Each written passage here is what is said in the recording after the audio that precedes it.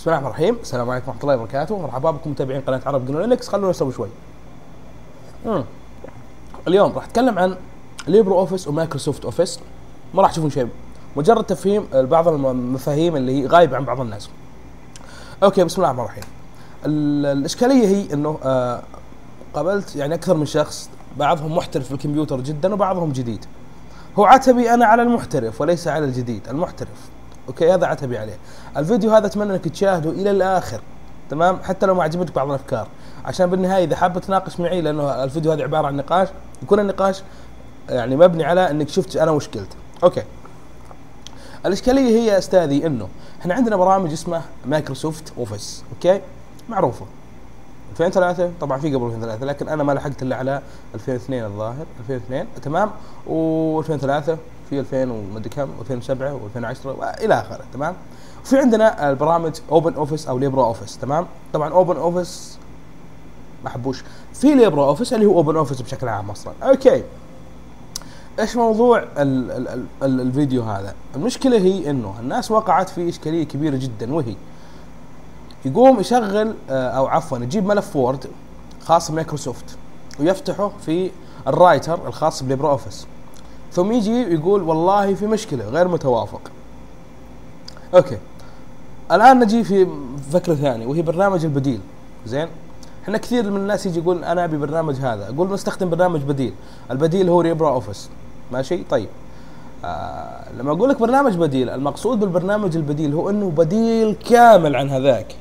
هذا يعني إنه يفترض إنه يشتغل وحده وما يتعامل مع هذاك. ماشي؟ يعني إذا أنت بتستخدم برامج LibreOffice okay؟ خلونا نشوف إذا كنت أنا نزلتهم ولا لا. Office Office Office Office هذا هو. تمام؟ لاحظ مثلا الطقم هذا من برامج LibreOffice يفترض إني أستخدم ال Writer وحده. تمام؟ ما أقوم أسوي ملف بال Writer وأروح أفتحه بال Word ليش؟ أنا أقول لك ليش. الإشكالية هي ببساطة إنه المستخدم متقبل فكرة إنه لما نجيب ملف Word واشغله على LibreOffice يشتغل. لكن مو متقبل فكرة إنه أجيب برنامج LibreOffice أو ملف LibreOffice الخاص بال Writer وأقوم أشغله على ال Office هنا ما تقبل الفكرة. في صيغتين في صيغة ODT الخاصه بال LibreOffice هذه ما يشغلها Microsoft Office ابدا. تمام؟ لكن الدي أو سي أو دي أو سي إكس يشغلها ال LibreOffice طيب يفترض أصلا إنك ما تفتح ال DOC بال LibreOffice يفترض إنك تستخدم LibreOffice وحده. okay يعني الفكرة ببساطة احاول أوضح لك إياها أكثر. تخيل واحد تعطيه ملف فيديو okay؟ يعني فيلم معين تعطيه إياه ثم بكرة يتصل عليك يقول لك والله شغلت الفيلم حقك آه، بال PowerPoint بس ما اشتغل. إيش راح تسوي؟ ولا قال لك شغلته بال Excel بس ما اشتغل. هذه الفكرة okay؟ هذه صيغة مختلفة LibreOffice صيغة مختلفة. حاول إنك تستخدم LibreOffice وحده كبديل. يعني لما تستخدم LibreOffice لا تفكر إنك بتعطيه لواحد مايكروسوفت. إذا بتعطيه واحد يستخدم منتجات مايكروسوفت قل له هذا البرنامج okay؟ يتطلب LibreOffice نزل LibreOffice عندك okay؟ آه هذه الفكرة. مثل ما إنك تبي تعطي شخص فيلم معين أو مقطع فيديو معين. الفيديو هذا يحتاج إلى المشغل الفلاني تمام؟ تروح تقول له والله نزل المشغل الفلاني عشان تقدر تشوفه. هذه الفكرة بالضبط. أنت لما تسوي برنامج على على, أو لما تسوي ملف حاب ترسله للمستخدم يستخدم ويندوز استخدم صيغة Microsoft Office خطأ.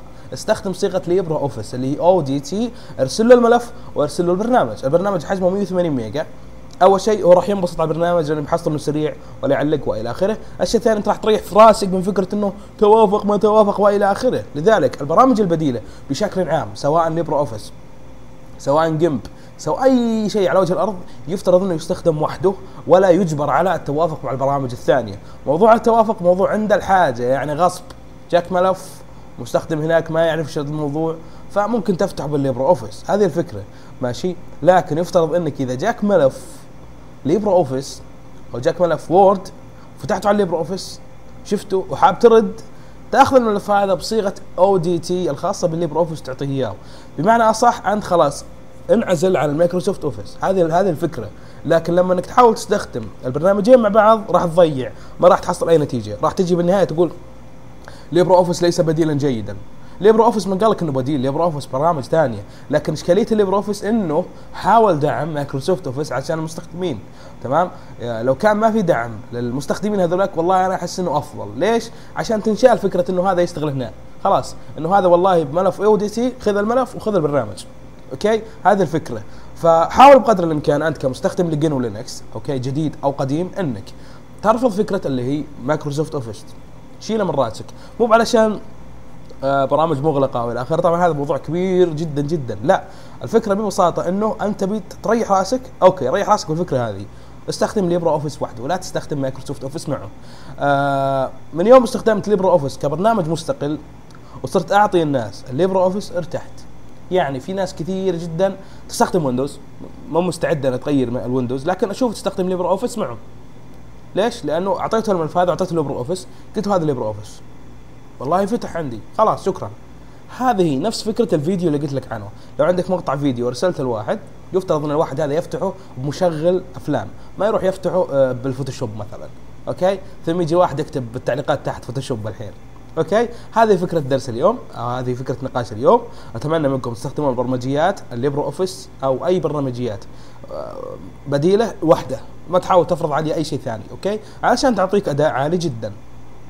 آه النقطة اللي حاب أقول اللي تفوق فيها ال LibreOffice على ال Microsoft Office هو إنه توافق معه أو حاول يتوافق معه، بينما هذاك لاحظ إنه رافض يتوافق معه أو رافض إنه حتى يطلع المبرمجين على الاكواد التنسيق الخاصة به، لو تم من مايكروسوفت إنه تطلع المبرمجين على أكواد التنسيق وهذا راح يصير غصب.